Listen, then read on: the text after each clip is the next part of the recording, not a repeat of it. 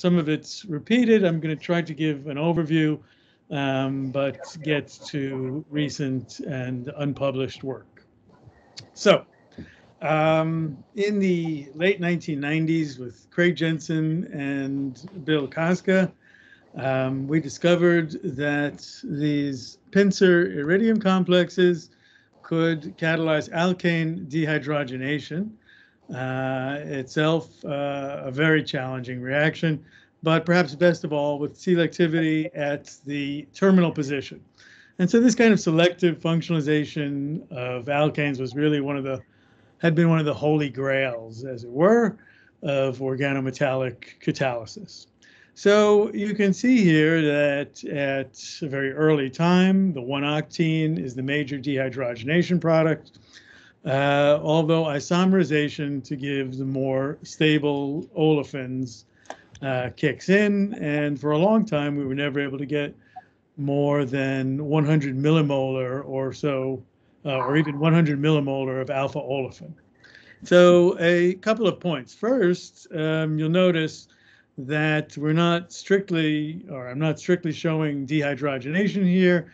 It's a transfer of hydrogen from an alkane to an olefin. So you end up with an olefin and an alkane, and that might not seem too valuable. Um, but alkane dehydrogenation itself is a very endothermic reaction. And so this drives the reaction. Um, in terms of it being practical, this would be valuable with cheap olefin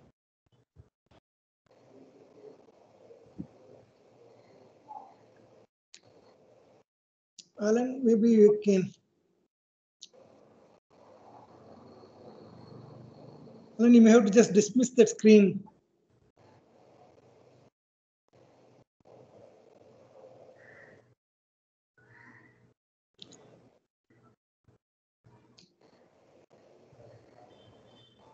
To be done by uh, Arunan.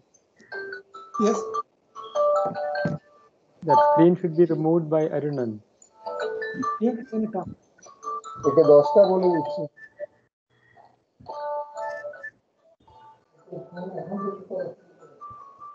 Yeah.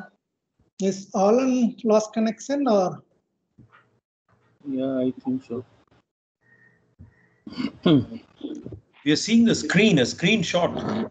Yeah, screenshot That's is it. coming, but it's not moving. I think his connects. I think his The lost screen is connection. frozen.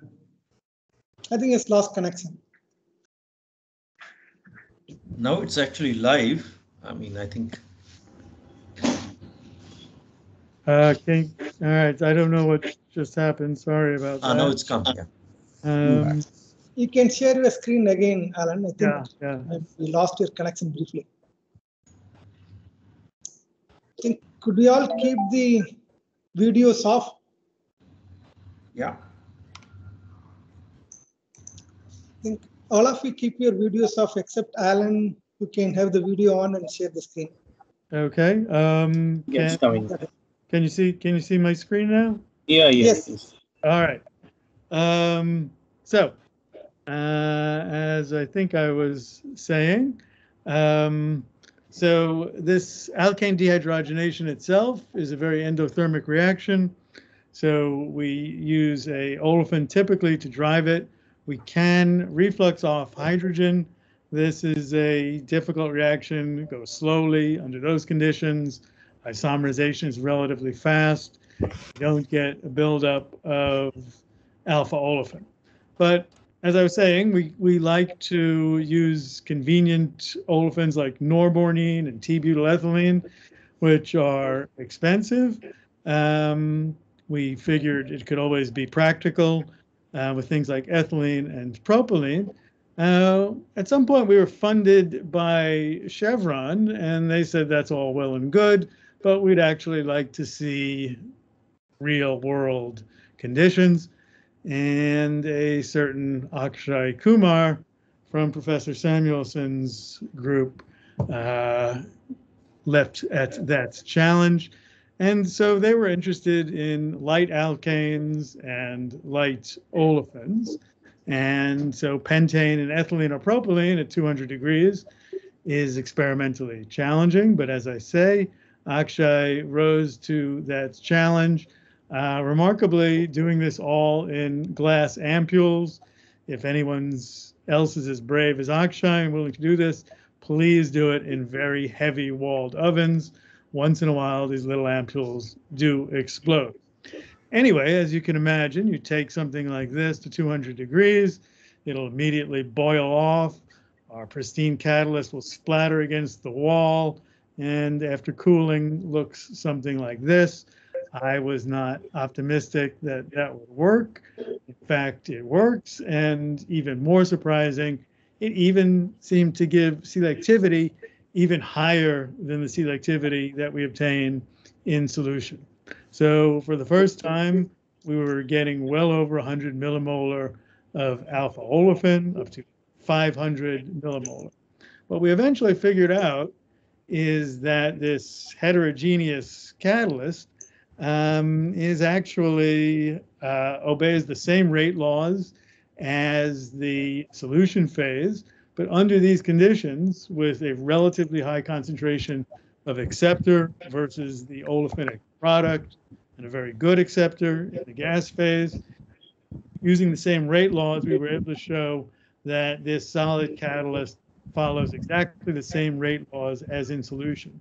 And so I really think that's a, a very different way of looking at molecular catalysts as something potentially completely heterogeneous.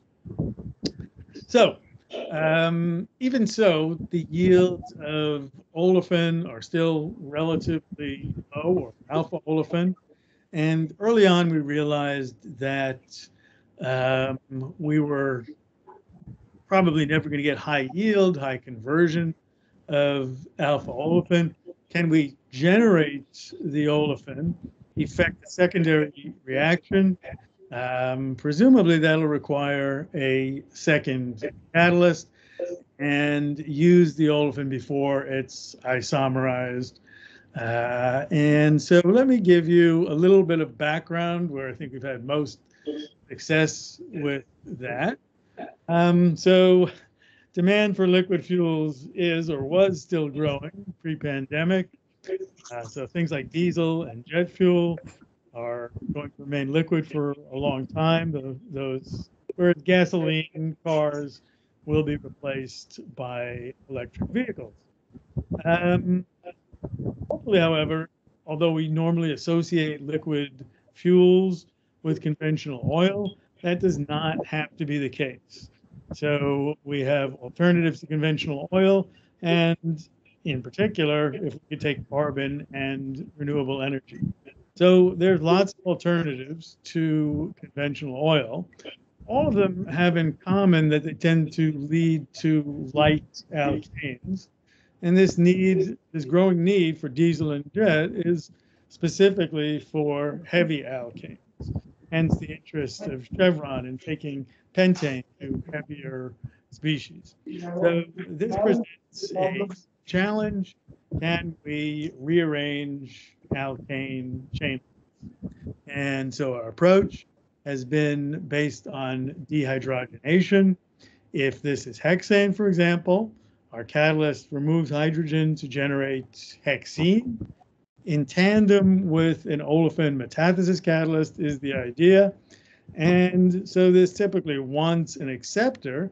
If the acceptor is the metathesized olefin, now the net reaction would be metathesis of an alkane. Now, this had been done. In fact, this is what inspired us with conventional heterogeneous catalysts, um, but not giving you anything like the selectivity shown here. So, can we do this with our highly selective molecular catalysts? Excuse me. So, shown here, um, we mix our pincer catalyst with a Schrock olefin metathesis catalyst. We have here hexane. Note that no hydrogen acceptor is used. And this sort of works like a charm, thanks to a very skilled postdoc, Ritu Ahuja, also, of course, from Professor Samuelson's group. So this was in collaboration though with the group of Maurice Brookhart at North Carolina. So we'll give some credit. Um, so lots of different alkanes, all linear. So that was that was very nice. We can get uh, thousands of turnovers, and in part that's because we can recycle this um, by affixing substituents at the para position, which bind to solid supports, allowing us to recycle the, uh, the catalyst very nicely. So that uh, I think gives you uh, an idea of where we were for a long time. Everything based on these low valent iridium one species. And a few years ago, our attention was caught by this report by Nishiyama, in which he found that this iridium 3 complex activated alkanes, excuse me, in a way to uh, similar to our pincer iridium with selectivity at the terminal position. Um, he proposed that this was all going through iridium 3, and our computational collaborators actually provided support for this. So this really caught our attention because iridium 1 is fine as long as you're strictly in hydrocarbon land, um, but has a lot of limitations. In particular, once you introduce heteroatoms, they tend to bind and kill iridium 1. So that means if you want to do, say, dehydrogenation followed by hydration, well, if your catalyst can't tolerate water, you can't do that. If you want to dehydrogenate something that already has a functional group, the aliphatic group, the iridium 1 will tend to get killed by that. Or if you just want to activate the alkane and then do something like oxidation, carbonylation, those types of reagents will kill the iridium 1 catalyst, perhaps not iridium 3. And finally, a interesting aspect of the high oxidation state, if we're sticking with a single oxidation state, then it's not obvious there's anything special about iridium. And perhaps this could be transferable to other catalysts, other metals, even, even base metals. So we began a collaboration with the group of Karen Goldberg and Kate Allen in the Goldberg group, does the Nishiyama reaction and takes it to a higher temperature or starts with that activated alkyl species. And at this high temperature, this then eliminates olefin, so octene in this case. Uh, the rate was actually slightly promoted by water, which is a big contrast with our low oxidation state species. So that really highlights that aspect. So can we incorporate this into a catalytic cycle? So here's the Nishiyama reaction, the alkane activation, the Kate Allen reaction, eliminating olefin at 200 degrees. Now we've done this heterolytic dehydrogenation. We have here a proton and a hydride. We could imagine inserting an olefin into this iridium H bond and then protonating that alkyl group. That would be a net transfer dehydrogenation.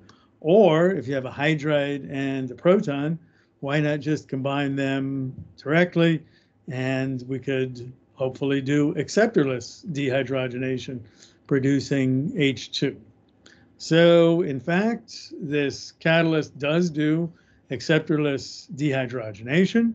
Not terribly good at it, but not so terrible. Um, now, based on what I just told you, you can imagine that this will be promoted by acid combining with the hydride intermediate. So we looked into that, but acids actually seem to inhibit the reaction. So a graduate student in my group, Yang Gao, looked at this in depth and figures if acids inhibit, maybe bases will promote the reaction. In the absence of any additive, he finds that we really get no transfer dehydrogenation, uh, even up to 200 degrees with either of the two intermediates I showed you on the last slide. But when he adds a base, sodium t-butoxide, now he gets a fairly respectable transfer dehydrogenation rates. So that seems promising, except I thought that what the base is doing is eliminating acetic acid, generating iridium 1, getting us into the same type of cycle we were essentially trying to avoid. But Yang was not so uh, easily defeated, looks into this in more depth. So the acetate hydride doesn't show any reaction with ethylene up to 200 degrees. He adds sodium T-butoxide, and at room temperature, so we've gone down from 200 to room temperature, we get the product that I expected, elimination of acetic acid, followed by coordination of ethylene, but that's minor. The major product is results from insertion of ethylene into the iridium H bond.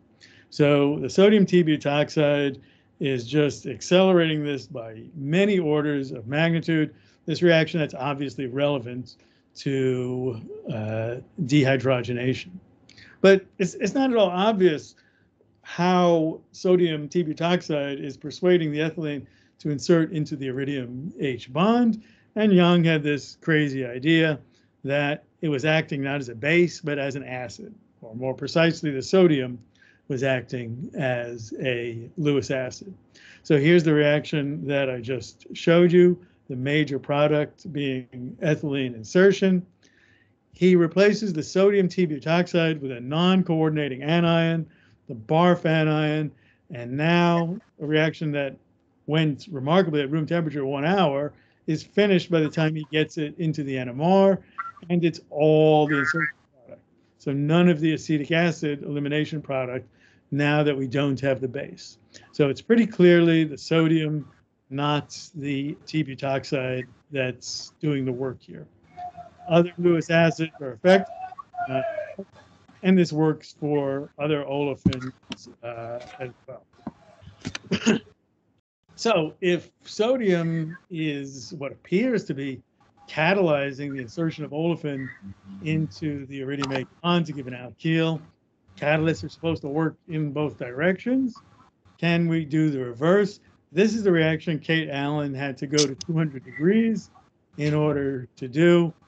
Now Yang is getting it at 55 degrees. Now this is reversible, so he seems to be getting oh, an equilibrium, making a study and lower the temperature, the more the equilibrium lies to the left. We trap the iridium hydride with olefin octene with olefin, and now instead of 200 degrees, he's got to take it down to minus 15 degrees in order to to measure the kinetics. So remarkable effect of sodium. So what appears to be happening, I'll show you calculations in a minute that support this, but what could really sodium do? It could bind to oxygen and help the acetates to dechelate opening up a vacant coordination site, allowing olefin to come in or out. So we started thinking, what else could we do with that vacant coordination site? We have a sort of one-track mind, thinking in terms of CH activation. So you could imagine the hydride reacting with methane to give a methyl plus H2. That would be thermodynamically unfavorable. So we're catalytic chemists. We go where the thermodynamics take us. Um, and if you do the reverse reaction without any sodium barf, effectively zero with sodium barf. So once again, the sodium has a very large catalytic effect, although this is not quite as large, only a couple of orders of magnitude compared with the insertion. So now we have both steps in, oh, I, sh I, should mention, we can also see the CH activation directly through HD exchange. So now, um, sorry, um, calculations by Changjian Guan support what I uh, just alluded to.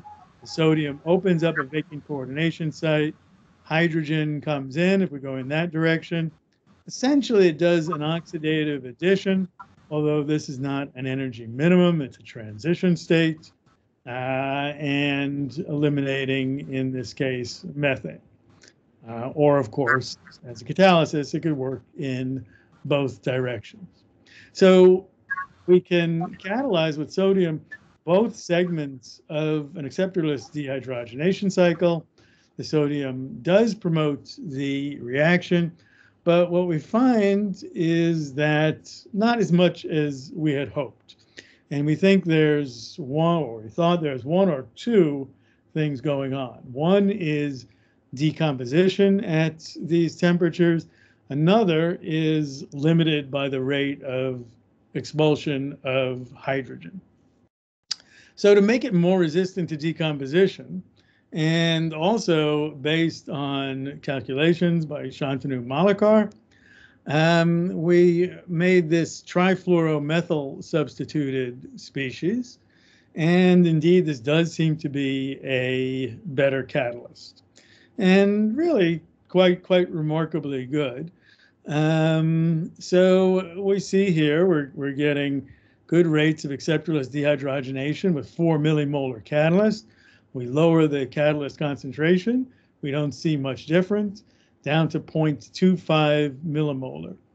And so what this is telling us is independence on the concentration of catalyst is that we've basically maxed out the catalytic ability. And the best that a catalyst can do is approach equilibrium. More catalyst, better catalyst won't help you. At equilibrium, we have an extremely small concentration of hydrogen. And purging hydrogen out is a very tends to be a very slow process. And so that's what appears to be limiting the reaction rate, not the actual catalytic activity. So we could even we start seeing the loss of catalytic activity down to as low as 0.05 uh, millimolar. So we have two options now, or I've shown you. One the hydrogen with an olefin. The other is to drive out hydrogen. Neither of these is is ideal. They both have serious limitations. The sort of obvious thing is make use of this wonderfully cheap oxidant that nature has given us, uh, O2. Now, O2 uh, under catalytic with with catalysts and even with when you're making olefins at high temperature is going to give you unwanted reactions. But there's ways of separating the oxygen from the catalyst and the reaction that's been done on a very large scale, most notably perhaps the Wacker process, where in effect we shuttle electrons and protons over to the oxygen. So can we do that with our alkane instead of making hydrogen?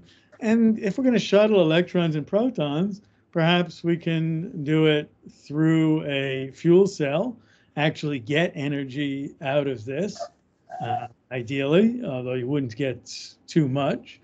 Um, or at the, so driven again by oxygen, but at the other half cell, or perhaps reduce, just reduce the protons to make, uh, generate hydrogen at the cathode. So we're interested in coupling proton electron transfer uh, to do dehydrogenation. And Arun Sada has studied this using silver as the electron acceptor, T butoxide as the proton acceptor. so he finds that relatively rapidly, electrons and a proton to essentially moving a hydride to give protonated species. And then much more slowly, T-butoxide removes the second proton. That generates our iridium-1 catalytically active species. Doing this in the presence of cyclooctane regenerates the dihydride, and we get our olefin. So that describes the catalytic cycle. And in fact, we can he can do this catalytically uh, and get a pretty high yield. So our sacrificial acceptor now is silver instead of olefin. That doesn't seem like much of an improvement, but the idea is really something that will shuttle electrons. Uh, silver, however, falls out of solution. So for something that stays in solution, a classic electron acceptor is ferrocenium, and this works quite nicely, although doesn't quite give uh, as many turnovers as he got with silver. Uh, Arun did then something about as crazy as Yang's uh, idea, which was to use as the electron acceptor cobaltocenium. Now, most of us know that cobaltocene is a reducing agent, so cobaltocenium is not normally viewed as a electron acceptor, but sure enough, this works, even gives more turnovers than ferrocenium. Uh, we interpret this as being that the ferrocenium is over-oxidizing the species. So this really highlights how little electrochemical potential we need to drive this reaction. So makes it very promising in that context. Excuse me. So um, finally, um, I'm going to describe a project which is sort of the confluence of the three general themes that I've mentioned are iridium 1 dehydrogenation, high oxidation state, and proton coupled electron transfer. So a while ago, Tian Zhou did some calculations looking for a better iridium 1 catalyst. He replaces the CH bond with a nitrogen, just very exploratory, calculates that it should not make much difference at all. However, again, this is all computational. If you protonate or alkylate this nitrogen, he calculates it should be a much better catalyst. So Akshay Kumar again, I think this was the last thing he did in my lab before, unfortunately, leaving leaving Rutgers to take his position at IIT Guwahati. I think the last thing he did was this magical synthesis in which he makes this complex and got some preliminary results showing that indeed it was a dehydrogenation catalyst similar to the parent complex as predicted, but didn't get around to the alkylation protonation step. More recently, that's been picked up by Tariq Bhatti, who finds this is a very interesting species. Firstly, this nitrogen turns out to be extremely basic, far more than a pyridine. And we can interpret this in terms of this protonated species actually being a carbene or having significant carbene resonance form. So that's interesting, but what was really surprising was that the synthetic precursor, this hydridochloride, the parent complex is really quite stable, yet this was highly reactive towards oxygen. And looking into this further with oxygen or benzoquinone, what it ends up doing is a CH activation and a dehydrogenative carbon metal coupling with the hydrogen going over to benzoquinone, or in the case of oxygen, presumably to give water. But this is really surprising. As I said, the parent complex is not oxygen sensitive.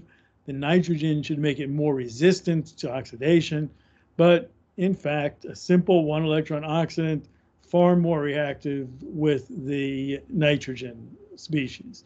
And again, we get this CH activation, which is really very intriguing because unfortunately here, it's an intramolecular reaction. If, however, we know that under other conditions, this can go for alkanes instead of its own T-butyl groups. If that were to happen, we get this alkyl we know this species would beta hydrogen eliminate to complete this cycle of exactly the type exactly the type that we are interested uh, in. So what's going on here? Calculations by Faraj Hasanayn at American University at Beirut really shed light on this. So indeed, this is hard to oxidize, but it forms this zwitterionic or carbene form, which, as you might imagine, is much easier to oxidize, giving this metallo-radical. In fact, Tariq actually observes this unusual metallo-radical species, which eventually also gets oxidized to give this cation. This cation then undergoes oxidative addition to give this iridium 5 species, which very readily loses a proton. So we're very excited about this interesting chemistry, essentially to do dehydrogenation of alkanes, We just have to develop a derivative that doesn't have these R groups that'll undergo uh, cyclometallation. We think this also has potential in other respects as well. So with that, um, here's the people who did this, or actually, this was our last um, pre-pandemic picture. Um, but so let me thank them, the people who funded it. But of course, most of all, let me thank Professor Samuelson uh, again for being just uh, a really inspirational human being and chemist, uh, as well as giving me, uh, sending to me three three fantastic postdocs. Um, I mentioned Ritu Ahuja and Akshay Kumar.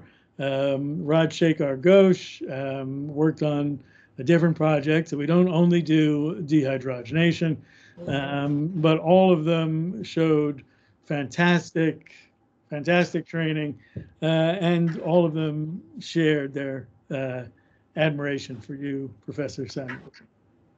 So, thank you. Um, Thank you. How do I stop? Thank you, Professor Goldman, for the excellent talk. Now the lecture is open for discussion. If you have any query or questions. Yes, Professor Jagirdar. Uh, uh, hello, Alan. Let Hello, me just Balaji. turn on my- How are you? All right. Yeah, good to see you. Uh, I enjoyed your talk very much. Thank you. Uh, I have a couple of uh, short questions. I think in um, in one of your uh, uh, computational studies, uh, you pointed out that methane evolution takes place. Right? You have a you yeah. have uh, methyl uh, plus H2 reaction, uh, which results in methane evolution. So did you did you actually do any um, isotope uh, you know uh, incorporation uh, experimentally? Um, not with like for example ch3b yeah okay Yeah. So, yeah. So, so, so we didn't do methane because you know me- methane. Uh, well, you know, it's it's it's uh, it, it's a gas. It's going to be present in in small in small amounts. But but we did give we did see HD exchange with with alkane. So, um, I don't think we have any reason. In fact, the, the calculations indicate that methane is actually more reactive, which is which is often the case with, as you know, transition metals. So. uh, one more short question akhil uh, if i may Yeah, yeah, no problem. uh, so in the case of uh, the acetate uh, ethyl complex that you have uh, did you ever observe uh, reductive elimination of ethyl acetate so that you generate the three coordinate species once again Yeah. Um, no, we never did. Um, I never actually thought of looking for it. I, I, I think Yang would have, uh, would, would have noted, would have noticed that. Okay, I think we'll go to the Yeah, next thanks person. uh, Yeah, Durga Prasad. Uh, uh, Professor Goldman, very uh, nice presentation.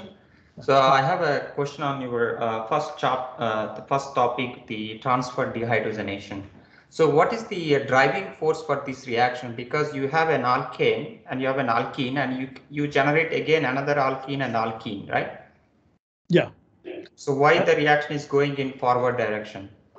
Um, well, first of all, we tend to use things which probably make it very slightly thermodynamically favorable, but we don't have to. So think norbornene and t-butylethylene. But if you just think of, let's say, starting with octane to one hexene transfer, well, eventually you'll you'll you'll reach equilibrium, and so your concentration of alkane is about 10 molar. Um, and so there it's uh, presumably a thermoneutral equilibrium, and you would just statistically essentially, you know, consume the, the great majority of, of the acceptor at equilibrium. Uh, if you use a strain double bond, um, uh, let's say, can you uh, lower the temperature of your reaction? Because in the first, uh, uh, uh, I think the project you use a 200 to 240 degrees. Uh, but if let's say if you use a strain double bond and you can drive the reaction forward uh, because the strain double bond can act as a better sacrificial uh, uh, acceptor uh, to release the strain, so which can add, which can lower the temperature. Have you thought about this? Yeah. Um, so norbornene, which is the first one I showed, is is is somewhat strained, um, but there's a lot of different factors that affect this. So um, one thing, you, you form the iridium one species, and if the dehydrogenation of the alkane is is rate determining, um, or somewhere along the line there's a rate determining step, then having this, this strained olefin uh, isn't going to help you. Secondly, more active olefins tend to bind to the iridium and and take that out out of cycle. Um, so usually the actual hydrogenation of the sacrificial olefin is not the rate determining step. So in general, that's not uh, not really going to drive things. Okay, thank you. Thank you, Professor. So let us close this discussion part. So please join me in thanking Professor Alan Goldman for his excellent talk. And we'll uh, move to the next speaker. Alan, could you stop sharing? The next Uh, person okay. can. Um, I can try. uh, The same button. yeah. Uh, I think you already did. yeah. oh, okay. That worked. Yeah, yeah, already, already. All right. Great. Uh, Narasimhamurthy, you can share this. Professor Krishnan has joined us. So Professor Krishnan will conduct this, uh, chair this session, this uh, second lecture. Or I'll continue. Unmute. Yeah. Professor Krishnan, you are muted. Unmute. Yeah.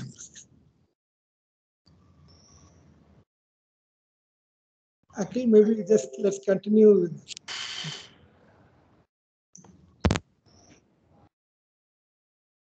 I saw Professor Krishnan.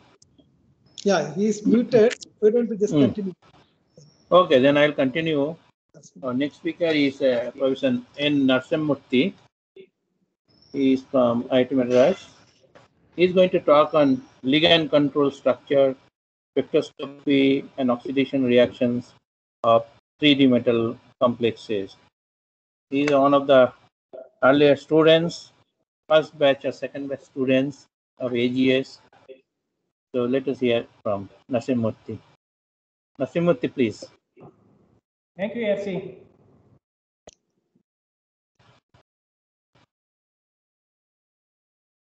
Screen is not there.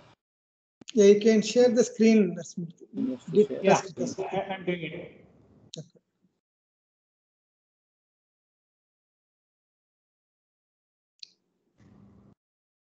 Do you see?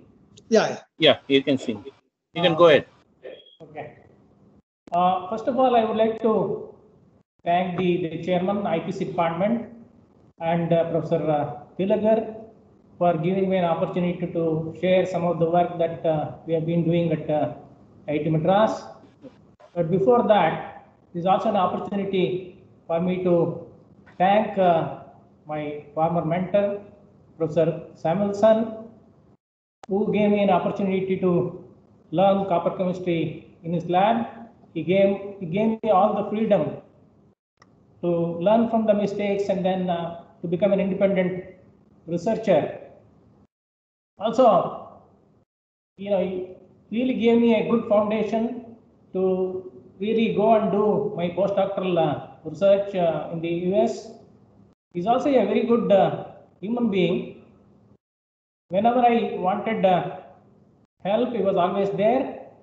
And why I said he's a good human being, because when I joined IIT Madras, after two years, I met with a major road accident in front of our IIT gate, and I, I don't know how he came to know, and he came to see me uh, to ask and find out how I was doing. It is very nice of him. Those things uh, normally, you know, don't happen these days. So thank you. And uh, with regard to the, the chemistry that I've been doing in IIT Madras, But I thought before that, there are a lot of students uh, from uh, AGS group. I know only you know, a few of them. Uh, Vijay Shri was there, allegation, and then uh, Baruah, of course, uh, was the and the the other one was uh, Abraham. You know, when I just left the lab, he was just, I just joined, and I thought, you know, every one of you may be curious to know that what I did in uh, AGS lab. I have few slides to share before I really talk about uh, the chemistry that I've been doing at IIT Madras.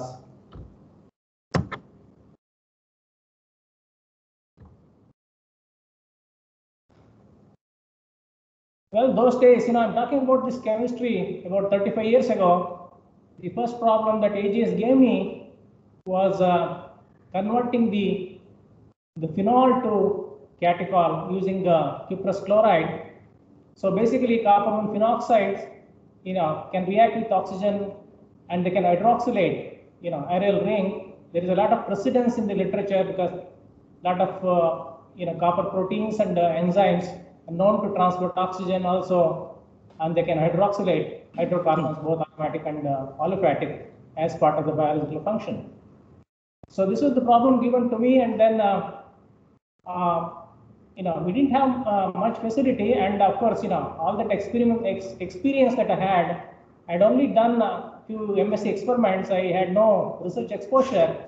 Even preparing cuprous chloride days was not easy, and it took some time, and particularly making uh, you know cuprous uh, phenoxide, which is a bright uh, calorie yellow solid, and all the time I used to get you know very dirty uh, yellow, indicating that it was not pure. You know, it also means that I did not know the technique. But then, six months uh, elapsed. Uh, you know, somehow I could not make this reaction work. I'm I'm sure you know if I'd used some co-ligands of nitrogens and other ligands, probably something would have happened. But all the time I ended up getting you know only the, the starting phenol and chlor cupric chloride. It was so frustrating. I'm sure you know, AGS was not happy. And somehow one day I was under tremendous pressure.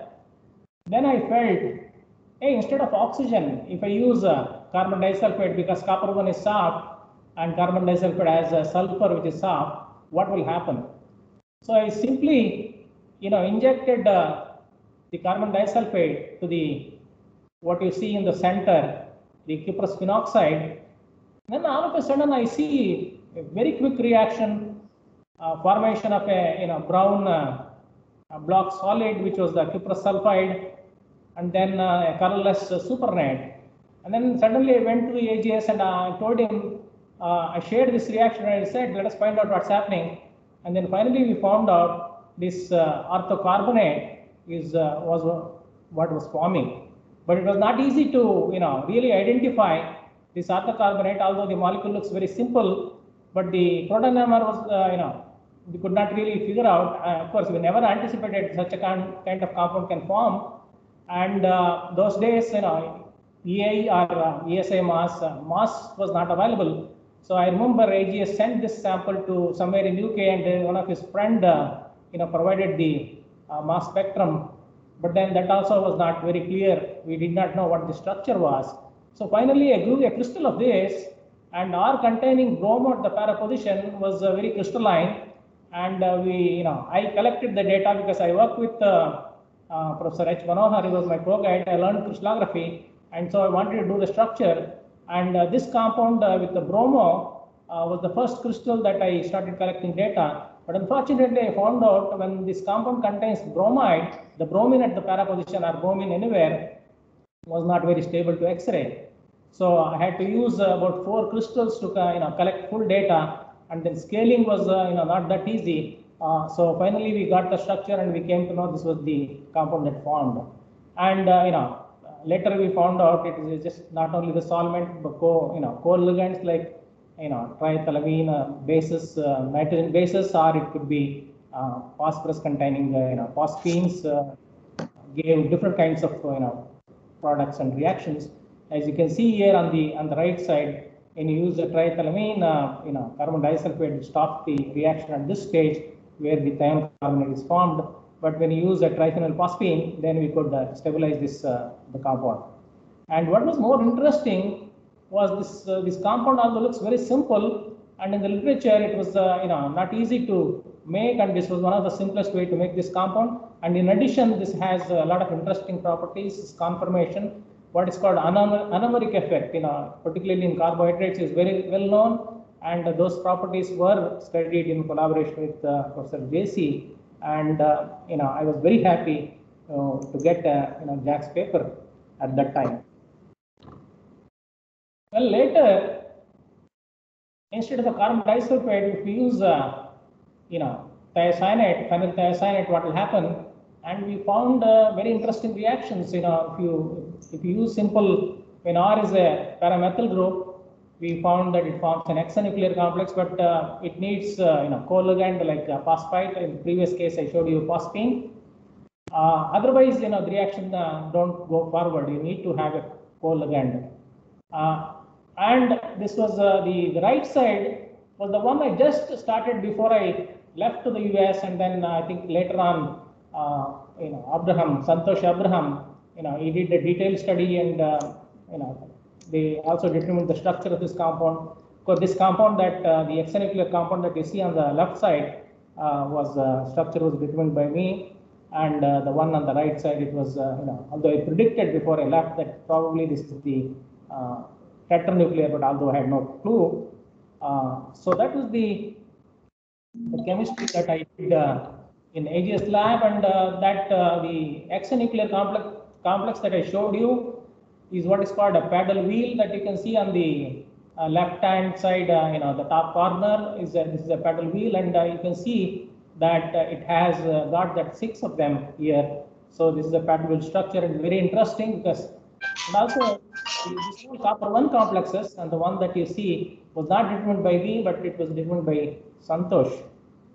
Absolute details. Press So, to the, enough. the, the chemistry that we do uh, in IIT Madras is inspired by you know nature, metalloproteins and metalloenzymes. Uh, this is uh, you know what I'm showing you is heme protein, hemoglobin, myoglobin, and cytochrome P450. Uh, these are well studied and uh, well established uh, examples that are there in the in the textbook everywhere. But what is not really not well understood, and lately people are you know studying are the non-heme uh, metalloenzymes, uh, and some of the things that I put uh, here in this slide is also you know there in the textbook. Uh, these metalloenzymes are responsible for many of the reactions, respiration, you know, activation of nitrogen, synthesis of uh, proteins, uh, cleavage of uh, the DNA, what is called uh, repair and religation. All this is done by the you know metalloproteins and uh, metalloenzymes. And the one that I'm showing at the bottom is a copper-containing uh, you know enzyme is what is called tyrosinase and hemocyanin is also known to transport oxygen. But not only tyrosinase transports oxygen, but also it does the hydroxylation of hydrocarbons. And the ones that I've shown on the right-hand side is uh, you know, non-heme containing uh, iron proteins, and uh, methane monooxygenase particularly known to do you know catalysis uh, converts the methane to methanol using uh, O2 as an oxidant. But you would ask me at the end that you are showing all this, how much have you done this? Uh, you know, maybe uh, you know my answer to that is uh, not much, but these reactions have inspired, and the reaction that we wanted to really do has given uh, totally different uh, results and new results. So basically, you know, bioinorganic chemistry makes use of the, the ligands, and some of the ligands that I've put at the bottom are tridentate, tetradentate, or bidentate. Uh, particularly the one that I'm showing you here is a, you know, tetradentate ligand is uh, well established, uh, used in, uh, you know, most of the chemistries that are uh, people are uh, studying. And the one that I, you know, shown here is not much explored. Similarly, what I've shown here is the, the top one, the symmetrical tridentate ligand, and the unsymmetrical tridentate ligand has not been used much. Uh, the one that uh, you know I've shown here, and that the other two ligands, bidentate ligands that I've shown here, contains a biphenyl append. So you know the simple uh, the bipyridine ligands are well known, and if you want to really control the geometry, and these are the kind of you know steric hindrance people have put on the ortho position of the ortho to the nitrogen, and this is what gives rise to you know geometry control as well as reactivity.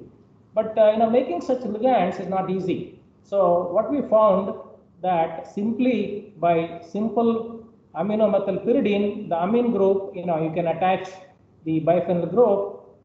So this biphenyl group not only gives the steric hindrance, but also controls and uh, gets adjusted because of the biphenyl twist that I've shown. Uh, you know, the, the twist is not shown here, but it gets twisted and can get adjusted uh, from 35 to 45 degree. It can get twisted and uh, allow different kinds of metal to the coordinate, and that's something that you know we accidentally uh, found, and the chemistry that uh, you know we have explored using this ligand is what I'm going to show in the coming slides.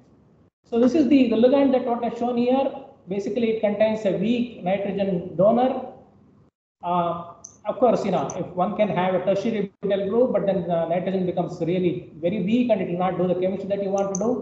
But uh, we found this combination appears to be very interesting, uh, the chemistry. So it is sterically hindered, but also electronically competitive.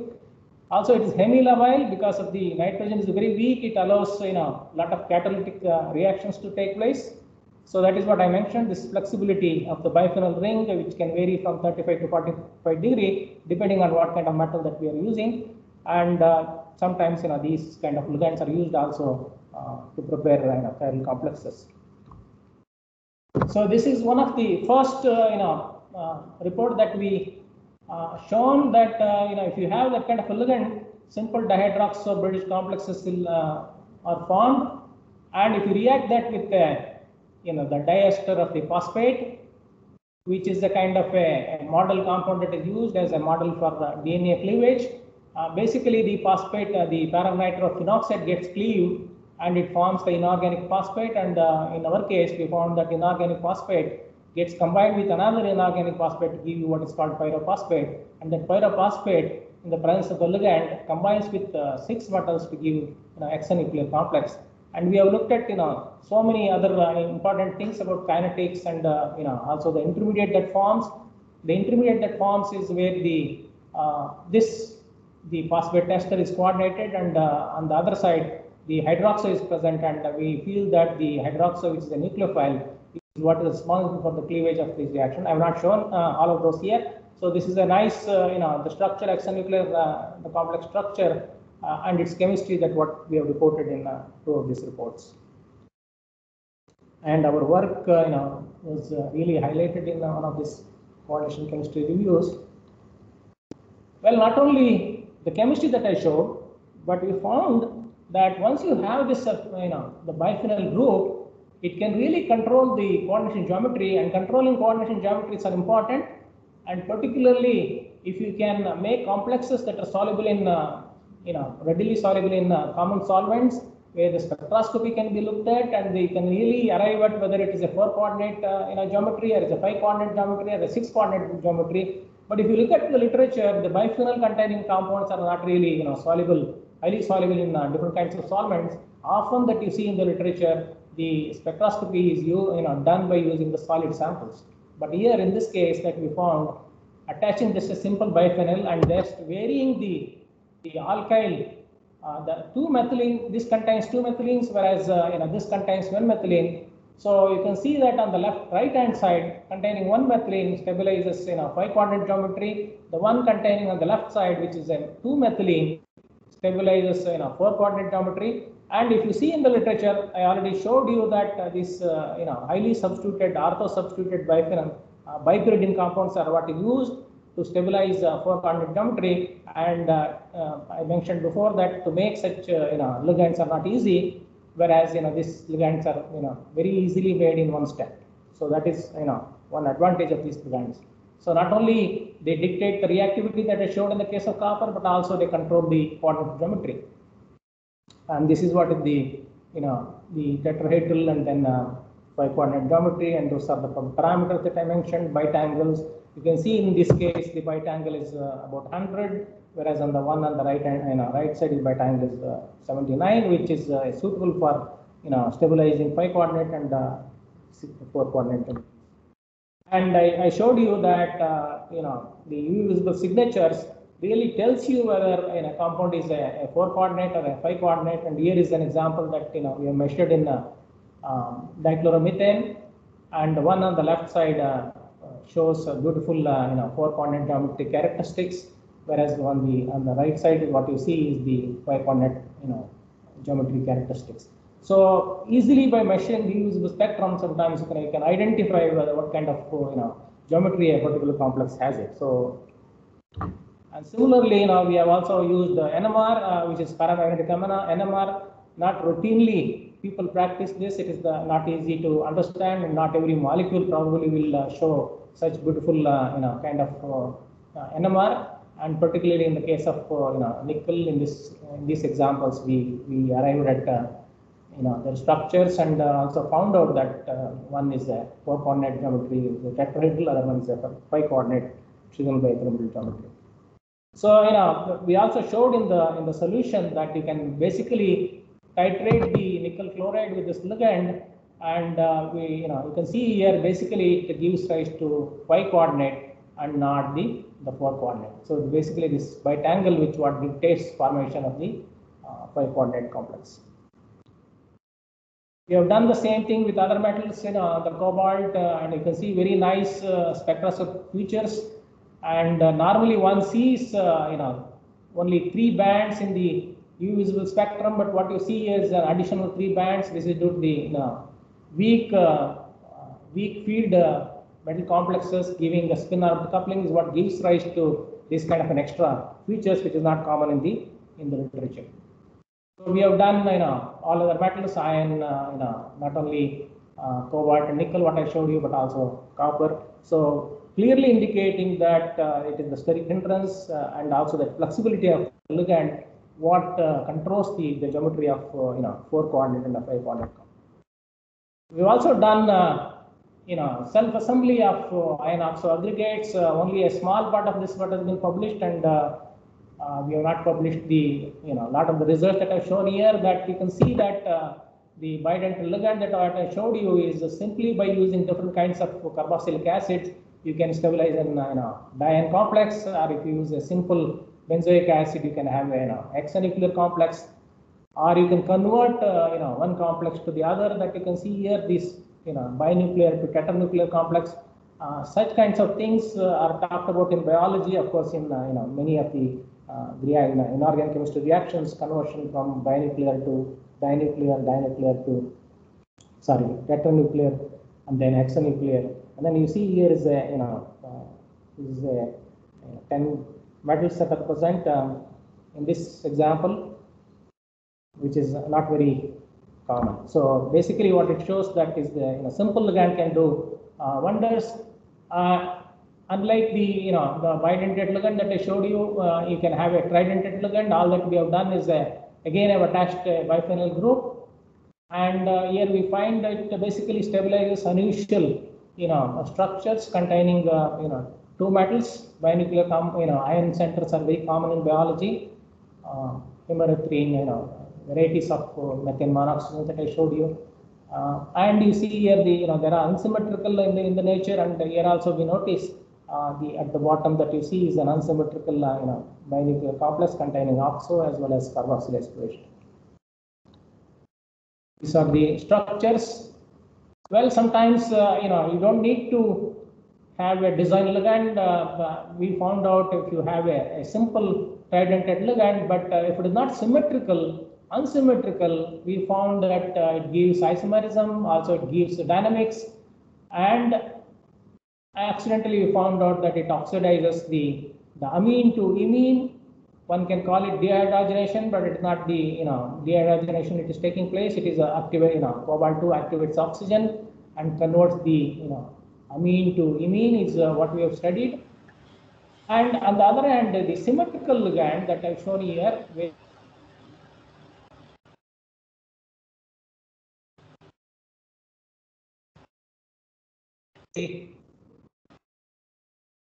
oh. Sorry, something happened? Your screen seems to be gone. I I don't know. There was a gray Yeah. screen at your bottom. Maybe you clicked on that. Can you click on the white? Share and share again. Maybe it will work. You share it again. Oh, I don't know what happened. Yes. No, it's okay. Ah, okay. Uh, you see everything fine? Yeah, you can wind it up. Nasimatti. Another Oh, okay, okay. I'll, I'll, I'll quickly do that. It has not come yet. You see what what is shown here that you know they, they form uh, you know facial meridional uh, depending on uh, what kind of ligand that we are using. So let me go through. You know this is the dynamics uh, that we have measured at room temperature. The spectrum is basically featureless. We do not see anything. But when we cool this down to minus 35, we see you know very nice uh, you know NMR spectrum. But it uh, shows that it is a mixture of different isomers that are present at the same time and uh, the the converted diene uh, has a you know nice NMR. It is not as dynamic as the the amine is what is shown here, and we have uh, you know uh, looked at the oxygen reactivity and then uh, measured the reactivity you know by the U visible and NMR spectrum. We have shown that the, finally the product that is coming is uh, imine both by the The imine slide and is Slide is not uh, showing Slide up. is not coming. Yeah. Murthy's, Oh, slide is not slide coming. is You're not showing up. The slide? No, You have no, to no. share. You have to share the slide. You Yeah. to share it one more time. it's- Yeah, Yeah. share it Yeah, I was sharing, but somehow you know something happened. Stop Stop it and share sharing and share it again.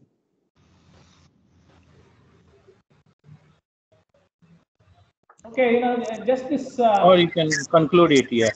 Yeah, Not okay. So basically, what we have done is, uh, you know, accidentally we found out that uh, you can really cleave the uh, the this methyl group, uh, which is uh, the anisole, what is called uh, demethylation of the the methyl group. Accidentally, we found, you know, such kinds of reactions are done really using the noble metals.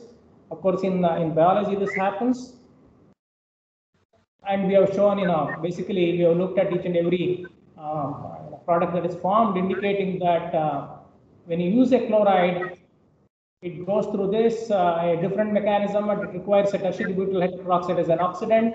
But if you use an iodide as an anion, it goes through, you know, a peroxide compound, and uh, this is the product that is formed, indicating that uh, it- these two reactions are taking two different pathways but giving the same product uh, in the sense demethylation reaction.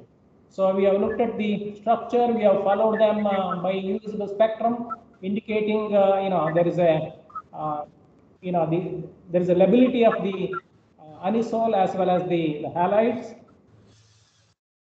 And that is what is shown here through NMR spectroscopy that uh, such a kind of level can be easily monitored by NMR. And uh, basically, electrochemistry has shown that in the case of fluoride, the redox potential is very positive, whereas in the case of iodo complex, re- redox potential negative, clearly indicating that uh, the iodo complex is able to, you know, uh, activate oxygen and do the, the chemistry. I think you can stop at this stage. Yeah. You're not able to see the slide. Okay. Stop So maybe sharing? if you have any question, uh, let me make it open for discussion. Sure. If anybody is having one or two quick questions. Yeah, uh, can I just say something about this slide? Yeah, Uh, nothing is it's not coming. Slide is is not visible. visible. So whatever you are Oh, telling, we are not able to understand much. Yeah. Can you stop and share, stop sharing and share it again? Yeah, I'm, I am unable to understand. It is, it, it, I, I can see, but I'm not able to. Yeah, just something wrong, I think. Yeah, I think you are not able, I, you know, for some reason, it's not allowing me to, you know, share. Just just the exit and the upload. Okay.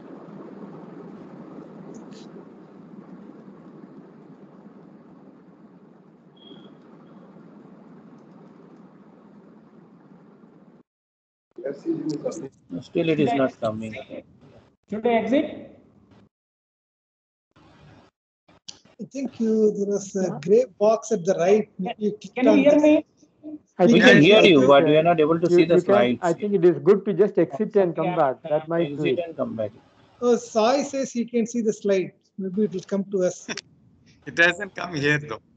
Yeah, I, I don't see it yet. Yeah, I don't see it either. Sai can share his screen.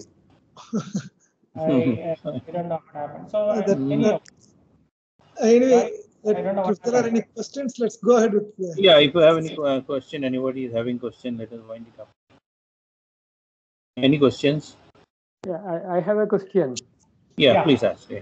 Go ahead. It is, uh, it's very interesting to have uh, this idea of the chelating ligand with a seven-membered ring. Uh, when you when you thought of it, was there any precedence? I don't see too many, uh, you know, too many ligands that would form a seven-membered ring as a common ligand in these. Uh, any any uh, argument that you had, you know, how did you get to this, other than the fact that it is a weaker uh, weaker uh, nitrogen donor? well, you know, accidentally, you know, we obtained this ligand and uh, we found that it was uh, doing, you know, nice chemistry with copper and iron and many other metals. Uh, I see. yeah. Okay, thank you. I think let us close this. Please join me in thanking uh, Professor Nasimurthy for the excellent talk.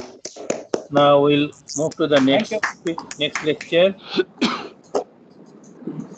Onan, shall I continue or Yep. I can see Uh, Professor Krishnan, Krishnan? Can you, yeah. So Krishnan, can you unmute and continue? Check. Krishnan is not, Krishnan, can you hear us? Narasimhamurthy, you can stop sharing and Baruah, maybe you share your screen. Yeah, Baruah, you can start here. Am, am I still sharing? Yeah, yeah, yeah.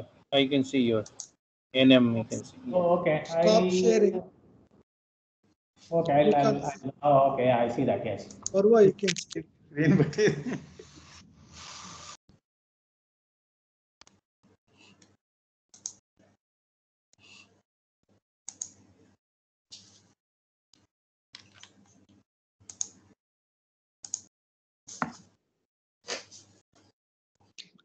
Baruah, can you share the screen? Yeah, I am sharing. Uh, but we can see only NM here. on. Uh, Murthy, maybe you can just exit once and uh, Exit. enter again. I think it is coming. Mine one will come, I think. It's loading. Yeah, yeah, it's yeah, yeah. No. It's Yeah, we can see it. Okay, our next speaker is uh, Professor Yuvraj Baruah. He is from uh, Department of Chemistry, IIT Guwahati. He's one of the senior students of AGS. And he's going to talk on reactivity and in situ transformations of selected nitrogen donor ligands and their phosphor transition metal complexes. Professor Baruah, your time up to 10.35, okay? You have to sure. stop at that time. We'll have few minutes for discussion. Eh? Okay. Thank you. So I am very grateful that uh, I got an opportunity to, to talk in such an auspicious occasion and in, and uh, a student, being a student, it's very difficult for me to, you know, say something without emotions because, you know, emotion comes at the first. So in a scientific discussion, generally emotion is at the last, last side. But, you know, again, I have two professors, Professor V. Krishnan and Professor Chakravarty. They are, they were so close and they were so so much like guide and they were so much you know like friends at everybody everybody at home they know their names and probably the next generation also. For in my family at least they will know because i keep talking and i keep describing when i when i get an opportunity about you know what i had in my student life. It was a great opportunity to see professor v krishnan as the head of the department at that time who actually just said that okay you please go and join professor samuelson. And he was a new new uh, he was a person who joined from cornell cornell and very young very energetic. And i was i had the opportunity to go to him. And you know we had many occasions where it was like he was also so young and he was also so dynamic that that you know our um, I, I was running and uh, and uh, uh, and I was very raw I would say and learned a lot of things and a lot of behaviors a lot of you know manners lot, many more things okay which I learned beyond home so I think Professor um, three of the professors again but um, Samuel, Professor Samuelson deserves more today on the occasions but Professor V. V. Krishnan who who just guided me to guided me in many other occasions he said one of the thing is that please be in, be say that you are inorganic chemist. Still, I remember I would say that I am an inorganic chemist. So, uh, and Professor uh, uh, Chakraborty has been a, like a guide in my throughout my life and he has been you know we were probably you know not missing a cup of tea at 11 o'clock and he was i i don't know what was the reason of choosing me and taking me to the uh, to the tea uh, tea shops okay during that time and giving me such an opportunity to to interact with such a person okay and i'm really grateful. And motivated and guided by them the sky is you know sky is like this so so so blue you know the flowers are there and you know you have to dream. So you know i became a dreamer but you know i have not become an executor. So still i keep dreaming and i'll be giving some of the things okay during my journey what what has what has been i've been able to carry out with my limited okay knowledge and limited abilities. So the motivation to develop metal promoted or catalyzed reactions and to study novel organic inorganic materials even the greeneries aspires to reach the sky. This is the this is the message I will send it to Professor Samuelson. Thank you, sir, because you know this all okay started in your laboratory, and my aim in life was to become a university teacher. Beyond that, I was not thinking that I'll become a researcher when I was as a student. I was a student, but after reaching your place, I thought that okay, science can be taken up and I'll be able to do science because I was not thinking, imagining that okay, I'll become a science, uh, working with science. But I thought that okay, being a good teacher and being a being a university teacher, that is the highest positions which I can aspire. That time, you know, when I was a student, I wrote a wrote a particular essay which also had the same implications which was written by one of the warden of the host, hostel saying that you fulfilled your dream i was happy my mother was mother was also so happy and I felt happy because I she's also she's now no more in the world, and I remember on this occasion again my mother because of certain reasons okay despite of uh, which okay i could really stand up to the occasion. So now if i say scientific why why fundamental uh, it is because it is fundamental it provides new economically viable viable selective and specific reactions it has extended realms and catalysis, polymers, biological studies, drugs, materials, nanodimension, many things. And we can go on talking about thematic aspects of the presentation. So if we look at the and look at the uh, look at these transparencies, ligand reactivity, in situ transformation, catalytic activity, and so on. Now, the, I, the personal side, I was introduced to the subject during PhD by Professor A.G. Samuelson, where I studied copper-promoted allylic nucleophilic substitution. What is interesting to that is that really today also allylic activation subject has been continuing with large scopes. This is after 30, 30 years. Still, it is as the same active state. That means, okay, what a fertile area where he wanted to start and where he where he has been continuing and what he's been doing at the fundamental things at with the points okay to be that that point is to be noted and and that points to be realized by any of the scientists okay who will be doing science um, science okay in the fundamental sites so having inspired by this okay i go to go to the next transparency. I just say that okay i have chosen certain molecules okay quinolines okay the quinoline chosen because in these particular studies and and then quinoline derivatives and there are other things also which i have included but this quinoline will be the prime thing so i just said that these are you know very relevant at the present day also. We need good health okay good health and for good health okay these kind these compounds are being serving as medicines in many many purpose. Now looking at that again you know uh, first point about quinoline will come that okay it forms in it forms prevents aggregation in the aggregation by you know which is very very important in of the hemogen. And that is very important at the present context again. And you know it forms many interesting complexes, metal complexes, which are useful for metal recognition, molecular recognition. You can talk in terms of dimension. You can you can bring nano, or you can take you know any other dimension if you, that you know that would be that is interesting. And then you know they are useful in in medical side again. Okay, in sensing, MRI. Okay, all these aspects are well known. So if you talk about reactivity, quinoline, you know, I'm just giving you one example. Metal-mediated reactions, okay, are very much essential, okay, and uh, has the provision, and quinoline provides the ways to do many of the reactions at different positions, okay, and there are a lot of publications, okay. In, if you look at organic chemistry journal, you'll see that all the time in, in terms of CH activation on the ortho position, the meta position, here it will be not ortho meta one two three four positions okay you can go on substituting and you can there are publications after publications going on with leveling experiments mechanism variations and many other things. Now coming to our my my point okay so we started with a simple reactions okay where we thought of making you know simple substitution reactions in presence of sodium hydroxide but we ended up in metal complexes.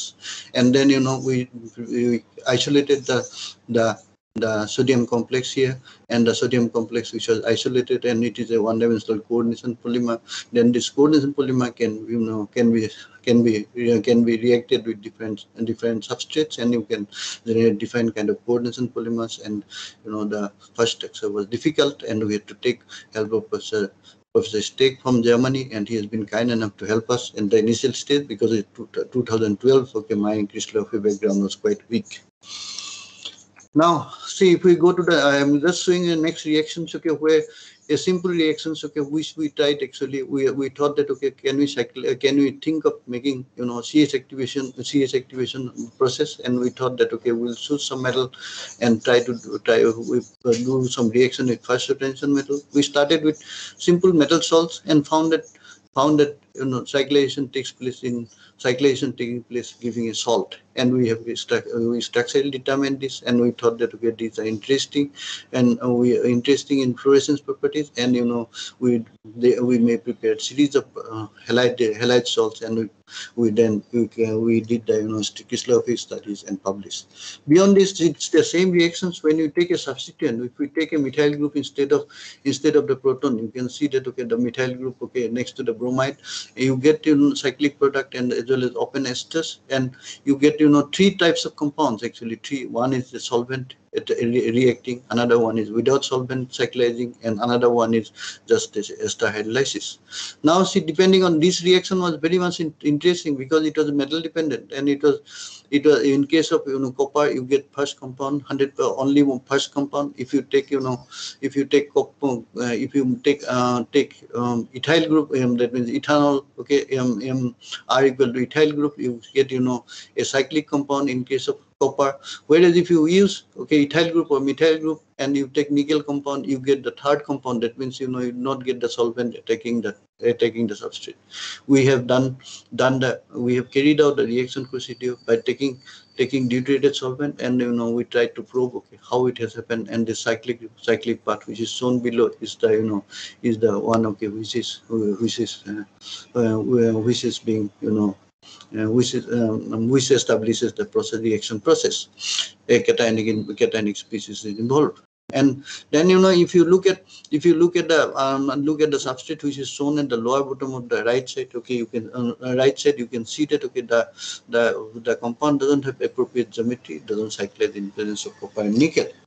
So this is one of the aspect. And second thing we have done okay, catalytic, catalytic alcoholic reaction of hydroxyquinoline derivatives, which is the, which was actually we want intended to prepare manganese complex as model complex and do the you know then do redox reactions and you know radical reactions and try to make CC bond formation and then do elimination. All these things we are thinking, but you know what happened is that we got simply simply substitution reactions, uh, solvolysis reactions in presence of air, and if the absence in absence of air, this reaction was not catalytic, and then we found that manganese 3 complex is formed. This manganese 3 complex is uh, okay. Then you know we take took the manganese 3 complex itself and did, did the reactions. We find that it catalyzes, and then we have Susan Estelle istonate derivative of the manganese 3 and found that okay same reaction can be catalyzed by that. If you look at this reaction itself, see if you if we, if this hydrolysis reaction takes place itself first thing is that it is a um, promoted reaction. Instead in, at initial stage you, you you need three three units to come to the manganese and means okay three hydroxyquinolinate unit coming to the manganese first then you know the three units are converted and hydrolyzed and or or esterified and then you know rest of the things is taken by the taken done by the manganese 3 complex which is informed uh, formed in situ. This can be seen through the through the uv spectroscopy. That means at the initial stage okay you know, uh, or rather at the near near region you can see the uh, see the you know particular kind of reaction because the change in the concentration of the manganese complexes can be monitored through through spectroscopic means. Or we can do through GCA then where we can see the initiation process and then followed by the followed by the pickup of the reaction. So now the as, the as far as the mechanism is concerned, okay, I put it here, but you know, as time is set, I don't think that I should, you know, to uh, take too much time to go have, uh, to discuss about these things. Okay, further, I'll move to the next transparency. The next transparency is on a on the reversible copper zinc binding with aminoquinoline uh, aminoquinoline compounds. The reason is that okay, or quinoline compounds. The reason is that in biology, zinc and copper they bind to uh, bind to a substrate. But you know, if the zinc is kept, kept intact and uh, zinc can be you know easily removed by copper, but whereas the copper cannot be removed by zinc, so it is a challenge to you know make reversible systems in any any receptors where zinc and zinc and zinc and copper will reversibly bind. The first process is very easy. That means zinc binding and then copper copper reacting with the substrate or uh, the zinc complex to replace the zinc uh, replace the zinc is easy. But you know a copper complex when it is bound, zinc will not zinc doesn't do that easily. So there there are, there are some attempts which are being made in these particular things. I am giving you two examples in front of you, which are which are on the quinoline aminoquinoline derivative, and you can you can see that okay, you can see that okay, this particular process. I don't know why why somebody. Okay, it got halted. Can you hear me? Uh, we can hear you, but there seems to be some. Somebody says that somebody has taken control over the things. somebody someone, is actually somebody is controlling that. Okay, I again upstairs uh, this thing. You start sharing. Maybe someone clicked on a button by mistake. Yeah, I, they said that okay, it is controlled by somebody now. Uh, okay, I'll a, share again. Okay, I am sharing again. I am doing again.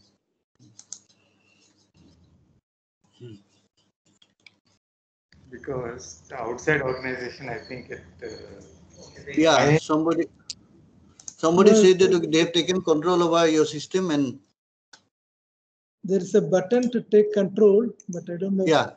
Someone accidentally pressed it.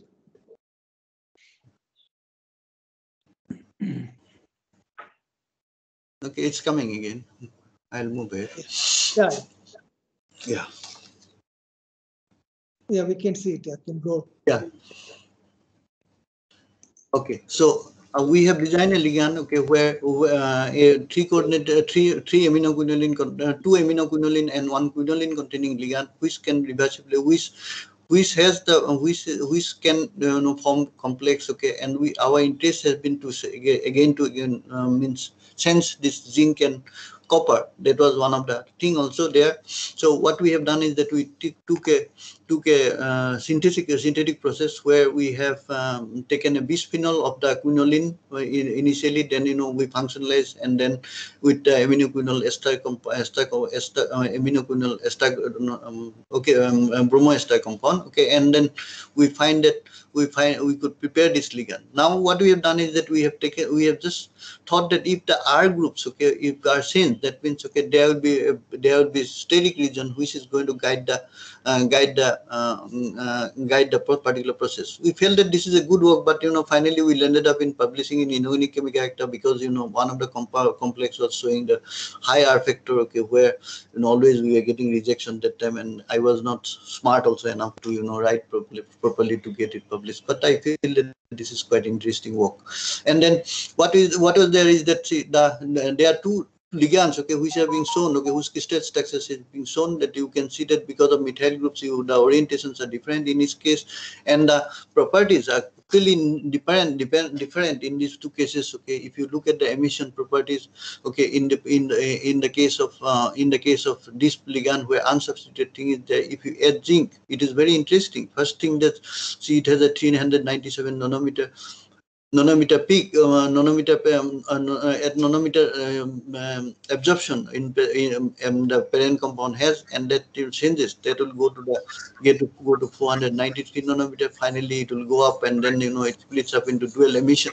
So that means uh, from single emission it, it splits up to the dual emission. Whereas in case of copper, it it just gets quenched. Okay, and that is on the right right side. So this particular process is process is explained with TICT, which I'm not explaining because again, you know, I will say that okay, this is because of the time. But you know, if you take the simply methyl, simple uh, methyl substitution, you can see that you will be able to see the changes. Okay, changes in the means okay reversible binding, which we are expecting, and this is this is what happens. And reversibility can be done at least at least three times we have checked. We can what we can do is that we can add sequentially copper um, copper and zinc or zinc or copper both will do the same purpose that is just zinc and zinc in copper or first you add zinc uh, copper then in zinc.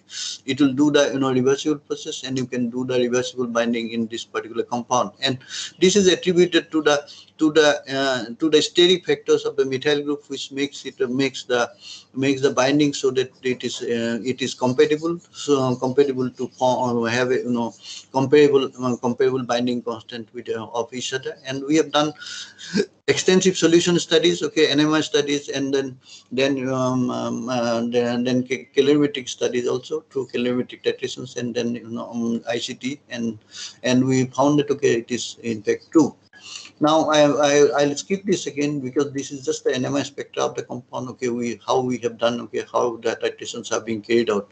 Now moving to the next compound. Okay, which where I'm just showing you the electronic effect of electronic effect causing the cyclization process. If you have the acyl methoxy compound and if you have the have the uh, have the uh, have the nitro derivatives. Okay, you can see that. Okay, you can see uh, see that. Okay, you, you you have heterocyclic compound formation in these particular cases and and this uh, the reaction is done by the done uh, reaction is catalyzed by the copper simple copper acetate and and we can prepare copper we, we have what we have done is that we have prepared series of copper complexes and copper zinc complexes and then uh, uh, not zinc complex nickel complexes which are four coordinated and they, they have seesaw structures and then we have been a week after characterization we have been able to look at the catalytic reactions and in presence of oxygen okay ADL uh, air this particular, okay, this is the mechanism which we put forward, and this is being established through ESR spectroscopy as well as by doing, you know, uh, doing uh, control experiments and to, to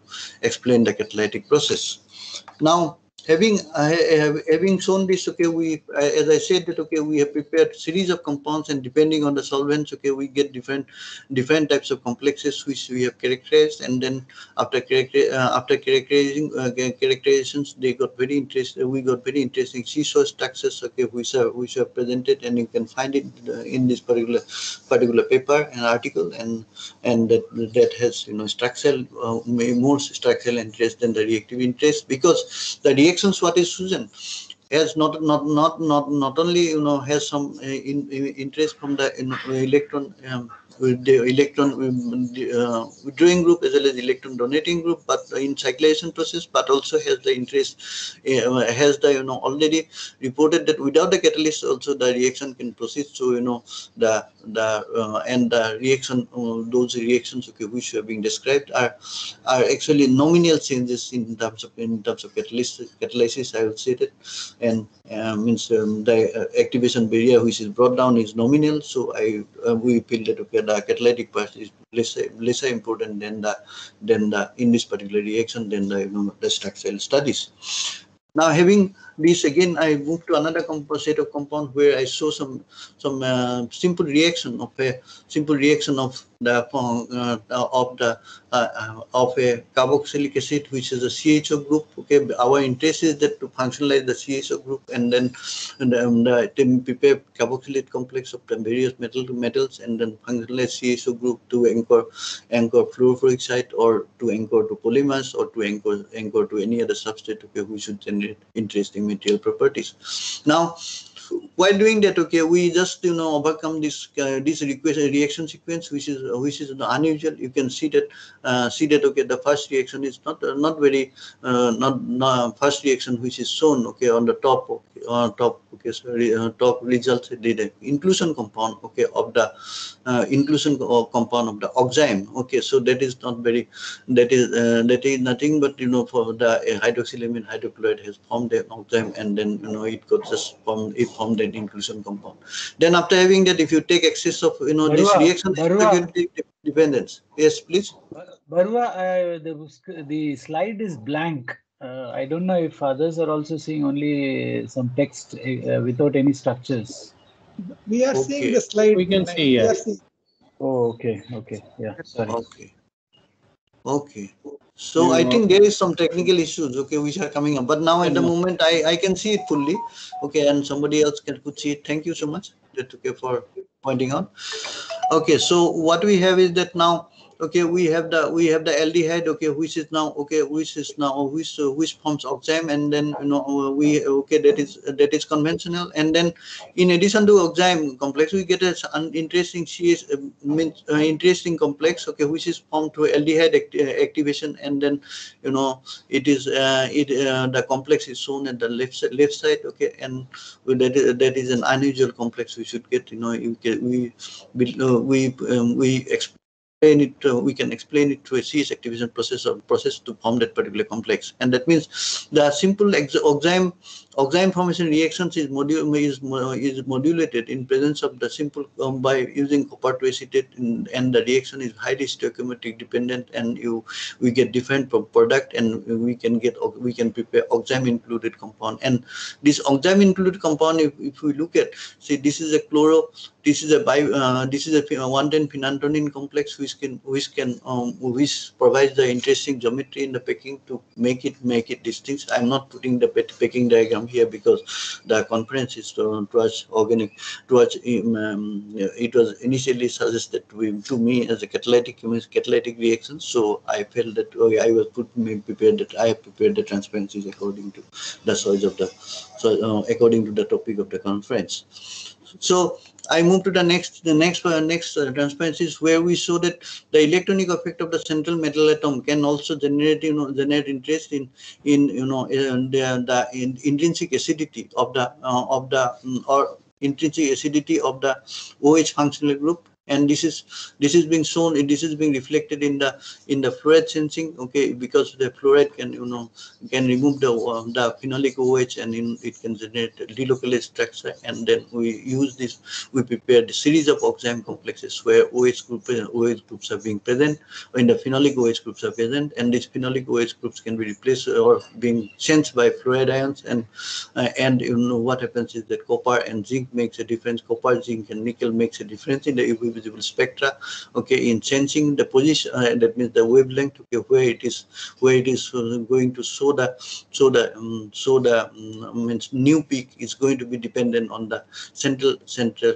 uh, central metal ion and the detection that means can be changed by um, by varying the central metal ion in these particular cases. So we have may we um, the mechanism of can the, you summarize Baruah? yeah can you yeah, summarize I'll summarize, that uh, I'll, I'll summarize okay so we have this, then, you know, I'll just show you, this is the last transparency. I'm showing you a com compound, okay, where you have, you know, you have the nitrogen, uh, you have the a simple nitrogen Schiff-based complex, Schiff-based ligand. Okay, now depending on the metal ion, you have different types of complex. You can, uh, you can generate CN bond, okay, you can generate, uh, means, okay, you can you use the acidity of the things and you can, uh, you, you make the simple metal complex of the ligand itself. That means you can see in nickel, it is the simple metal complex. In cobalt, it is a deprotonated species. In manganese, it is a C-bonded formation, form a reaction. That means, okay, you have varieties in reactions. Okay, these are.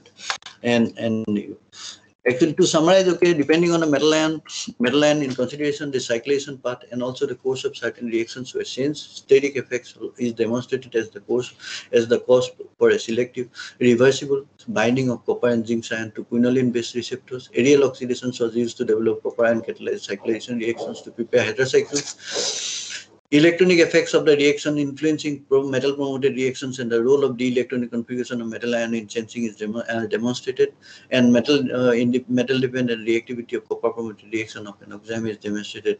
The versatility is so large that we can go on extending things and we can go on go on uh, suggesting reactions by choosing, choosing one of the substrate because this most of the reactions are substrate dependent. We have to identify a substrate and make a series of compound, Then we can say that okay, we have done a particular study. So that the science will continue in this particular direction by getting one reaction, specific reactions with a particular substrate, and that's uh, choosing the substrate and diversifying the things. You can see a lot of papers public, getting published in JOC and organic organic letters of this uh, means of such kind of activities.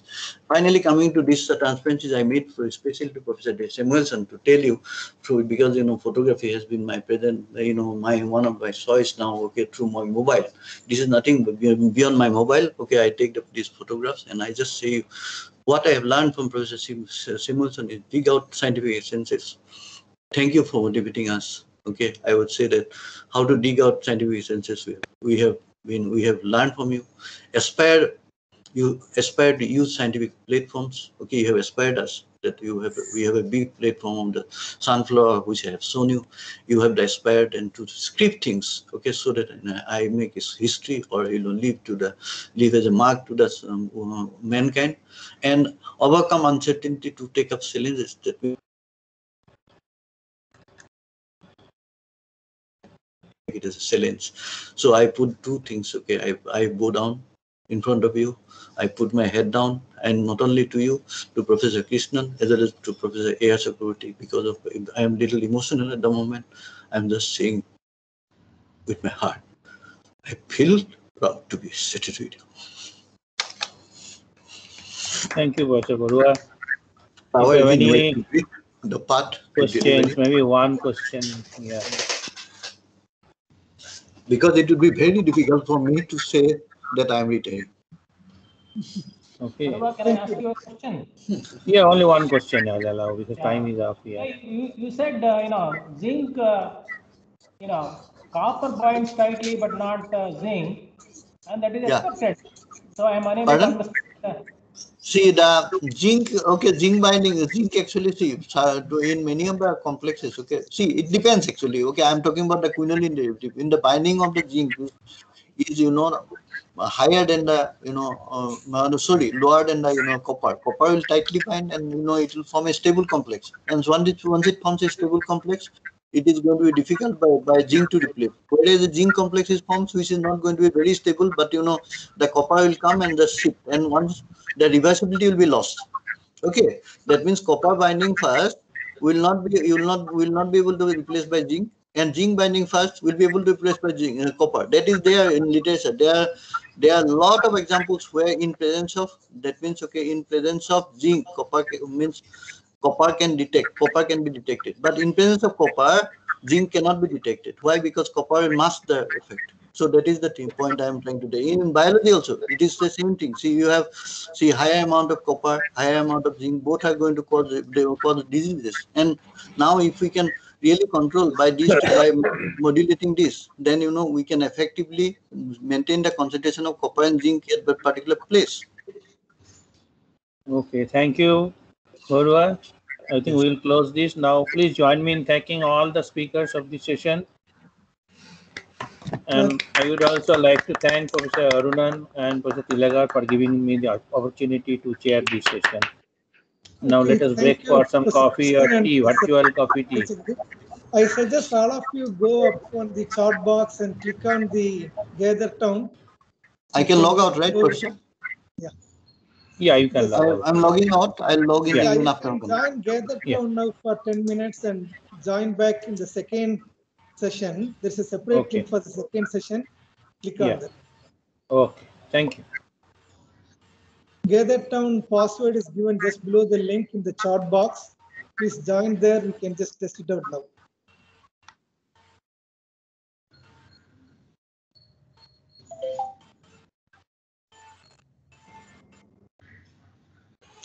The audio and video cannot be used in both, so we have to stop this when we join the gather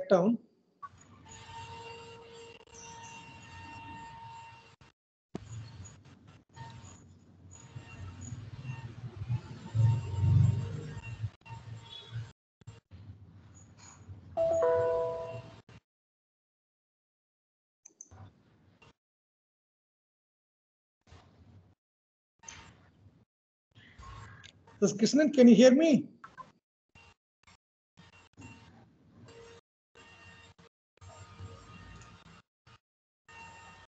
Uh, you can all sign out of this session because we use a different meeting for the second session. Krishnan, can you hear me now?